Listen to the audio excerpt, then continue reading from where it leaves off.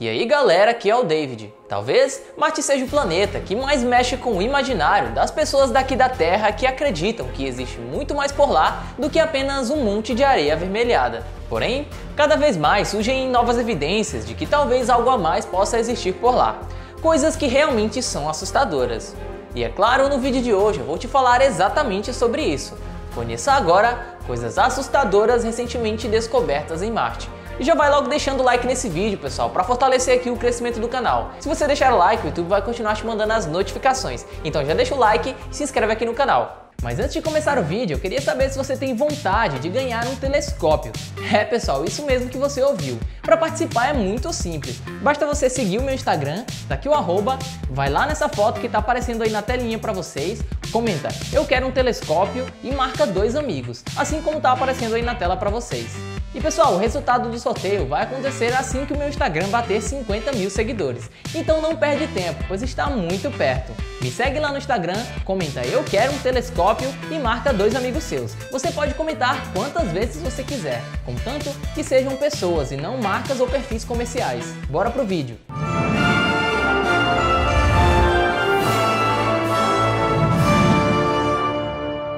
Guerra em Marte os nativos de Marte são descritos como guerreiros pelo imaginário das pessoas, e além do próprio planeta já possuir o nome do deus romano da guerra, será que ele já presenciou algum conflito armado? Bom, em dezembro de 2017, esta estranha imagem foi tirada em Marte, e como podemos perceber, existe algo ali que simplesmente não parece se encaixar.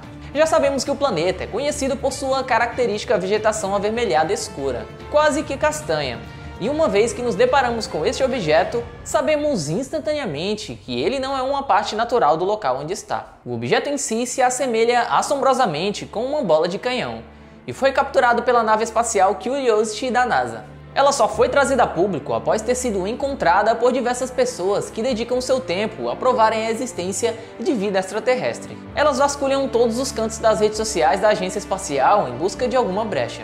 As pessoas então chegaram à conclusão de que esse estranho objeto seria a sobra de uma guerra de Marte, a qual muitos creem que poderia ter desmanchado um império que poderia ter existido por lá antes mesmo do ser humano aparecer no planeta.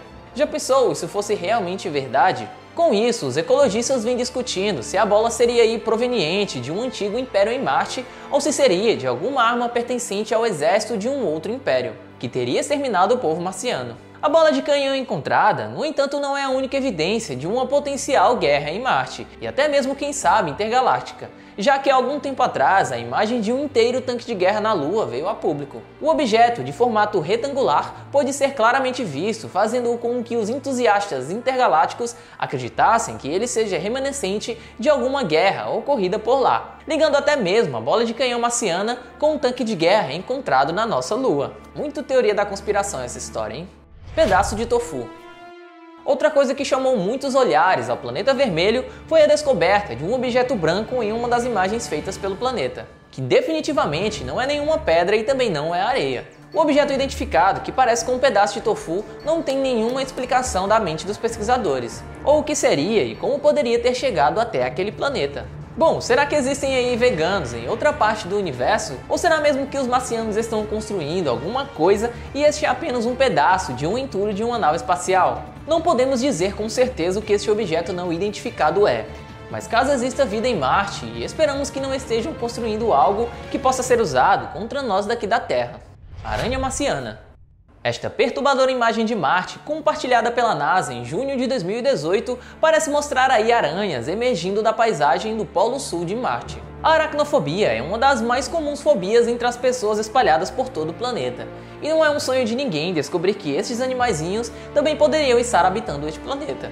Se as que temos por aqui já nos causam pesadelos, imagine aí o quão aterrorizante seria ver esses monstros de oito patas descendo dos céus para viver aqui conosco. Bem bizarro, né? Mas calma, pessoal, porque segundo a explicação da agência espacial, a imagem mostra na verdade um processo ativo que ocorre de temporadas em temporadas no planeta I, quando as calotas de gelo de dióxido de carbono envolvem uma região inteira.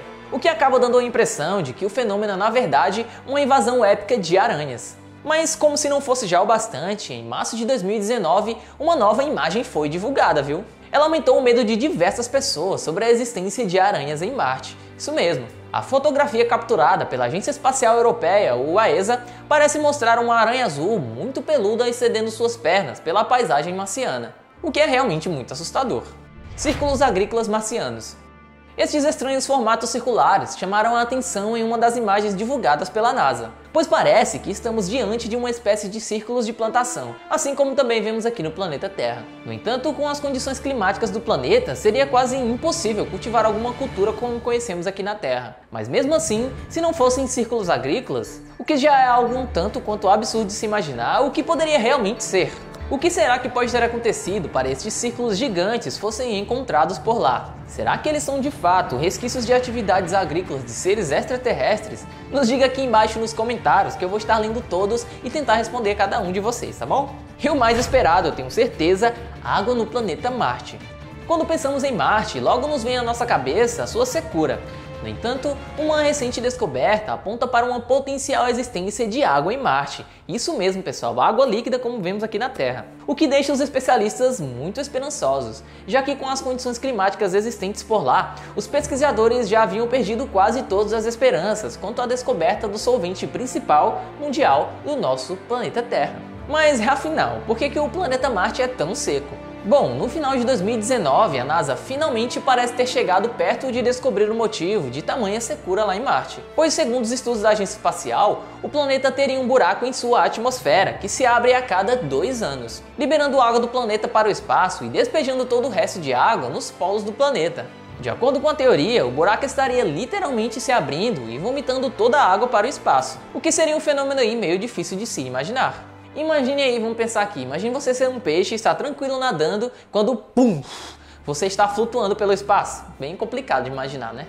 Os cientistas terrestres já haviam percebido a existência de vapor de água no alto da atmosfera marciana, e esta água estava migrando para os polos do planeta. Mas até agora não temos nenhuma explicação sobre como o ciclo da água marciana funciona, ou até porque o planeta está com uma casca seca nos dias de hoje. Já que a órbita do nosso planeta é bem mais excêntrica do que a do planeta vermelho, o verão por lá também é um pouco diferente, tá? E isso é porque o verão no hemisfério sul é bem mais quente do que o verão no hemisfério norte, pelo o planeta estar aí significativamente mais próximo do Sol. Os cientistas creem que durante este período uma enorme janela se abre no meio da atmosfera de Marte, entre 60 a 90 km de altitude, fazendo assim com que o vapor de água escape por este buraco até a atmosfera superior. E conforme a água atinge a atmosfera intermediária, parte da água acaba se deslocando para o norte e sul daquele planeta, onde é aí finalmente depositada o campo magnético. Todos nós já ouvimos falar sobre diferentes teorias sobre como poderíamos viver em Marte e também os meios que usamos até que isso se concretizasse. No entanto, um dos problemas que mais tiram o sono dos pesquisadores é a falta de uma atmosfera como a daqui da Terra, que permita a vida como conhecemos, pois permite o cultivo aí da vegetação e a produção de oxigênio. Uma das propostas da NASA seria o lançamento de uma espécie de campo magnético sobre aquele planeta vermelho, que poderia lhe garantir uma atmosfera muito semelhante à daqui da Terra, permitindo assim que pudéssemos caminhar em Marte, assim com a atuação da gravidade.